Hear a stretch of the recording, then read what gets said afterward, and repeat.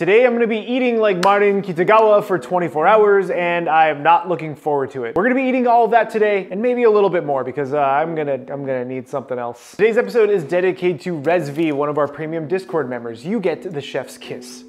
I couldn't find a mango yogurt, so I grabbed this passion fruit yogurt. That is the closest thing I could find. And then this is the only coffee milk that I could find at Uwajimaya. This is flavored milk drink. I can't just have coffee. That's kind of good. Really sweet. Oh my God. There's 30 grams of sugar in here, Marin. This is how much? This is 130 calories. There's almost nothing in here. This is gonna be good though. I have a feeling. I'd rather have like two of these instead of that.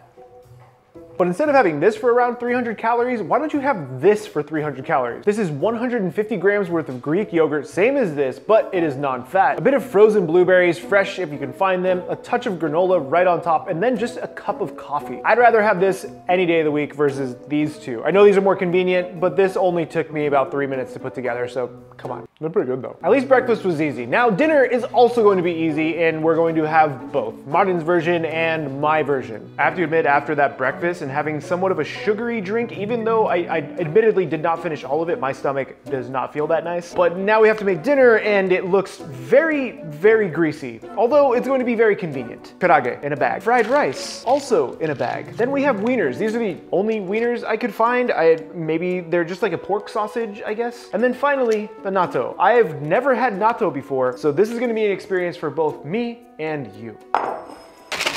Listen, she probably microwaved all of this, all of it, at the same time. So we're gonna take this, do a bunch of rice. There, those clams are big. They look like lima beans. Look at this clam, it's huge. Gandalf is very excited. He can, can you, hi buddy. Can you, can you smell the clams? Yeah, you can't have any. And then to this, we are adding our beautiful pre-cooked karaage. We're gonna do uh, one or two, like one and a half portions. It says four portions per serve or four pieces per serving. So they're, they're actually kind of a decent size, but you know, we'll, we'll do just a, just a few. And now for these wieners, we're only gonna do maybe like three pieces of these. This, this meal is, is very greasy, very like super fatty. Do a one and a two and a three. Look at the start of this. Would you guys eat this? Would you eat that? Hmm? Mm. The natto we have to do separately because it, it, only cooks for like 30 seconds out of the freezer. You're supposed to let it defrost. I, I didn't let it defrost. Would Marin defrost it? Mm -mm. I haven't had a microwave meal in many years. You know, I, I don't want to smell like clams and chicken by the time this is done, so my Anbu jersey is coming off. This is the Anbu one? Yeah, it is the Anbu one. So this has been in the microwave for four minutes and 30 seconds. Now we gotta microwave the natto, so we're just gonna let this sit over here. It's uh, that is very pungent. Now the natto like comes, it comes wrapped. I've, I've, again, I've never had this. I think there's like a sauce that comes with it. And then here's like, you peel this thing back. The instructions were all in Japanese and this is very sticky. So I'm just, I just had to go off of what I read on the internet, which is never a good thing. What is happening with this? Okay, put in the microwave for like 30 seconds. Natto is done. It's been 30 seconds. Now I know a lot of people talk trash about natto, and I, again, I've never had it, so this is going to be an experience. Let us let us release this from its plastic shell. This whole thing has taken about five minutes. Mmm, baby. I don't want to eat this.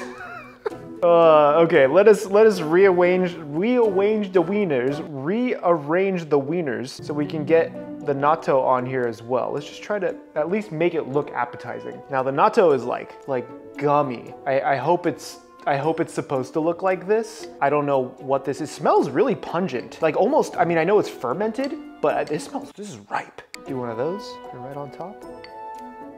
It also came with like a sauce packet. I don't know what this is. I think it's a dashi of some kind. I'm gonna throw this on here too, why not? Oh, it's sweet. Huh, that's really good. Now, if you're interested in the macros, I will have them listed right over here because uh, this is significant and there's no greens in it. There's like three pieces of onion in that rice. I haven't had a microwave meal in a long time, so we're just gonna dig in and see how this is. And this uh, chicken looks very questionable. So not good.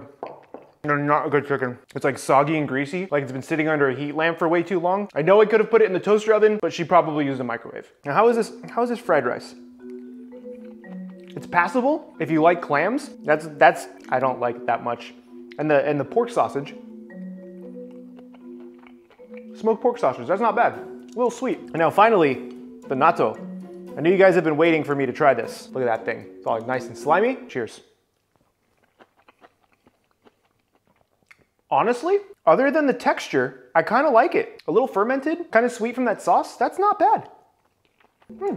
I'm still gonna, not gonna finish this. This is gonna murder my stomach with how much grease is in here. So instead, we're gonna make an at-home version of this, a super easy way. So you guys can make this at home, and please don't microwave it. So just in case you don't wanna eat that super greasy meal, we're gonna make a very quick version that's just slightly different, but way better for you. Now to make this at-home version, we're gonna take some cut up chicken thighs, dust it with some flour real quickly, make sure it is fully tossed in all of that flour. Then we're going to drop this in just a beaten egg, then throw this into some panko breadcrumbs and pop this onto your sheet tray. This entire process takes about a minute or two. I actually ran out of panko, so we're just gonna put this straight on. A little bit, you know, a little bit of flour. Whatever, cover them with whatever you want, then bake them at 400 degrees Fahrenheit for about 15 minutes. Now while that chicken is in our little toaster oven, we're just gonna make some fried rice on the stove. Super simple stuff. Now fried rice can be made any way that you want, and the way that I'm making it here is just with a dab of butter followed by one whole egg right onto that butter we're going to scramble this lightly, trying not to overcook it too much. You don't really want a hard scrambled egg here. Throw in just a bit of that chopped sausage that we used, a couple of handfuls of day-old white rice. Give this a good toss, making sure that all those things are starting to combine. And then I'm using some frozen corn and some frozen peas. Yes, these are frozen and I do keep them in my freezer at all times. And after hitting it with those veggies, hit it with a pinch of salt and you can again season this with whatever you want after you're done throwing everything together. And once everything is nicely tossed, your fried rice is ready to go. This legit took about two to three minutes to put together. So these panko chicken nuggets only took about 15 to 20 minutes, which I just went around and did stuff around the house while dinner was cooking. They got a little bit of color on each one, but I obviously didn't have enough panko for all of it. This is gonna be just fine for when you come home after school or after work and you're trying to eat like Marin Kitagawa. What's great about this fried rice too is that you can actually make a bigger batch of this and just have it sitting in the fridge and reheat it really when you want to, just like I just left it in the pan over there on the stove until the chicken was done.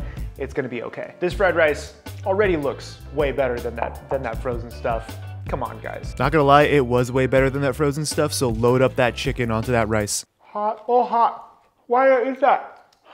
That good old natto on there, you know? Last but not least, a little bit of ginger goes a long way. I know not a lot of people would have pickled ginger with their fried rice, but I think it's amazing. I'm gonna top it with a little bit of Bachan's. Feel free to use whatever sauces you want here, or just leave it out. Honestly, it's still really good without any of it, but we're gonna do the Bachan's. There it is, look at that a 20 minute substitute to whatever that microwave stuff was that Marin had. We used frozen vegetables. We had leftover rice. These things aren't that hard to keep on hand either. Cheers. Legitimately day and night. Oh, on the fried rice with the natto. Oh yeah, actually, this is so good. If you wanna see the other My Dress Up Darling video that I did where I made the meat wrapped onigiri, check out the video right over here. Join our premium Discord so you can get that chef's kiss. My name is Chef PK, and remember, keep playing with your food.